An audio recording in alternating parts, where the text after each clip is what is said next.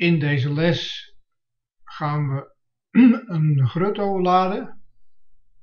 Openen. De G, de G van grutto.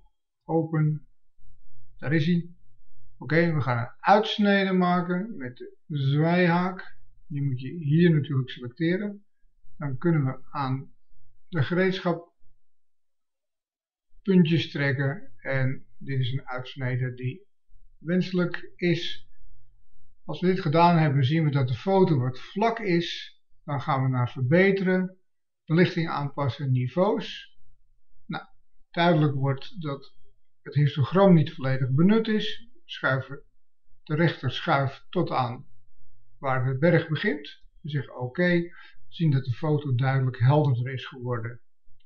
Nou, hierna laden we een tweede foto stand openen. Die heet park.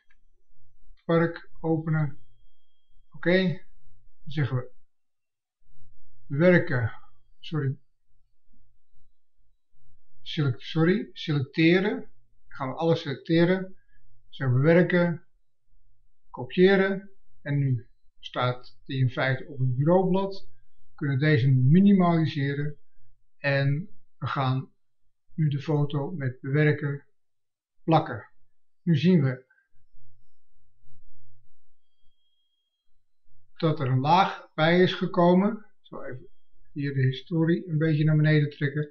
Dus er ligt een laag bovenop de grutto. Deze is te klein. En we gaan dus met het gereedschap wat hier bovenaan zit, kunnen we er aan trekken om de grootte te wijzigen. Oké, zo, een beetje. Zo, die is passend. Dan maken we een kop. Zeggen, hier gaan we mee, hier gaan we mee akkoord.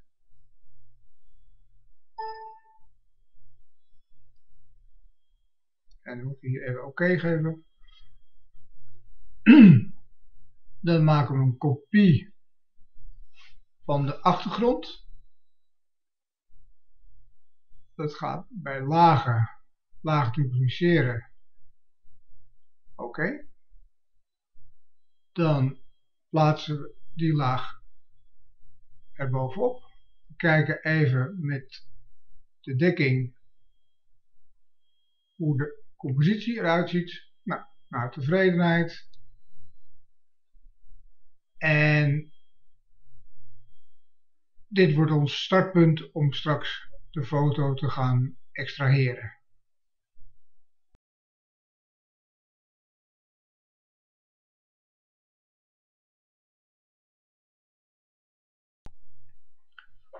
Oké, wat we nu gaan doen is dat we de toplaag actief maken.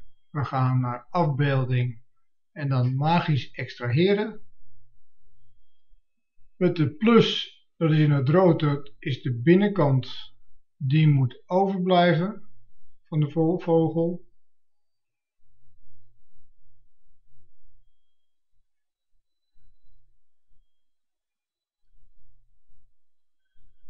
Ga helemaal door in één haal. Dit, alles wat hier binnen valt, dat moet overblijven en we gaan de computer eigenlijk vertellen tussen, dat hij tussen blauw en rood moet gaan zoeken naar overgangen. En die overgangen, dat moet dan de grutto worden. Hoe nauwkeuriger je dit doet, des te beter zijn de resultaten, maar ik zou het in dit geval ook nooit overdrijven. Nou, snavel, dat wordt wat lastig daar precies op te blijven. En hier ook nog een keer de snavel. Zorg ervoor dat altijd alle lijnen gesloten zijn. We vullen de knieën nog wat even op. Om zeker te zijn dat het daar ook goed gaat. Oké. Mogelijk de borst nog even iets nauwkeuriger aangeven. Dit is het wel. Nu gaan we aangeven dat alles wat buiten de blauwe lijnen valt, dat mag verdwijnen.